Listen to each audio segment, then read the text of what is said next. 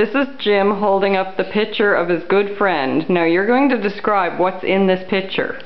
This is Princess Khulud bin Faisal, Mm-hmm. and this is in the ambulance bay. What's she holding in her hand? She's holding a handgun and a bottle of 40 of Jack Daniels that she had in her alligator bag that she was rummaging through and threw them on the threw them on the desk in the ambulance bay. How much do you think she paid for the purse? Probably about five grand. How much do you think she paid for the Jack Daniels? Probably well. Black market Jack Daniels? 40, 40 ouncer Jack Daniels is 400 American. Yeah, that's in Saudi Arabia. Yeah. Yeah. How much do you think she paid for the handgun? That was a gift. Oh, okay.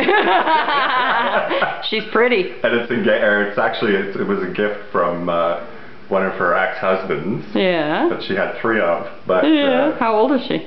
20, 29 now, Good for her. and um, She's pretty. it's it's uh, engraved with Khulud on the side of it. Yeah. So Nice picture. yeah, it's kind of cool. Good for you, Jim. You had good protection.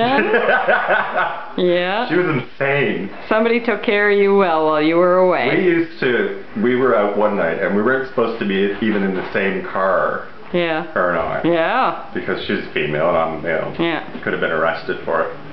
And guys over there will quite often take phone numbers and try to pass them into females' cars to get Yeah. them Yeah. to Yeah. get dates. Yeah.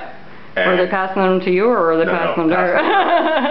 and she's leaning out the back of a Rolls Royce, waving the handgun at this guy that's in traffic, trying to give her his phone number, and she's like, "You fucker! You fucker! Go away!" Go away. You miss her? Buddy, Love Khulud. Yeah, I miss her. Talk to her a lot? Yeah, talk to her probably every day or second day. Oh, good, good. Because you told me a lot about her. Yeah, That, it's nice fun. to finally see the picture of her.